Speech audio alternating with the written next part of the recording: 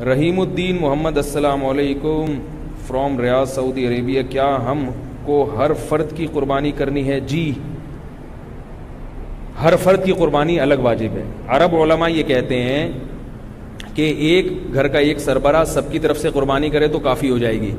इमाम अबू हनीफा का मज़हब यह है कि जो भी साहिब निसाब है, उस पर कुर्बानी लाजिम है। और इस बारे में सही हदीस है।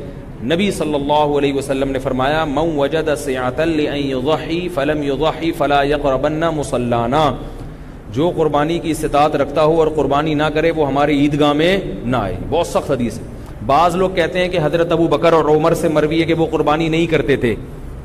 बाज़ लोग कहते हैं, देखो, सहाबा कराम नहीं करते थे तो इसका मतलब है कि कुर्बानी वाजिब नहीं और खुलफा राशदीन थे तो हम कहते हैं उन पर वाजिब नहीं थी। हज़रत अबू बकर उमर गरीब थे, मिसकीन थे। बाज़ लोगों ने फिर रिवायत में यह भी आता है कि इसलिए नहीं करते थे ताकि लोग इनकी इकतदा ना शुरू कर दें, इसको वाजिब ना समझना शुरू कर दें।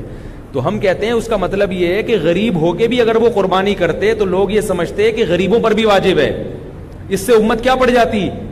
सख्ती में। तो इसलिए वो गरीब थे, उन्होंने कुर्बानी नहीं की। ये बताने के लिए कि ताकि तुम हमारी इकतदा ना करने में करो, ताकि गरीबों पे कोई हर्ज ना रहे, क्योंकि सब कर रहे हैं, गरीब लोग नहीं करेंगे, वो कहेंगे, यार, हम तो इससे महरूम हो गए। तो उम्मत को मुश्किल से बचाने के लिए कि सिर्फ़ मालदारों पर है, गरीबों पर नहीं है। तो ये मतलब है हदीस का, वरना कुर्बानी की बहुत सख्त ताकीद है।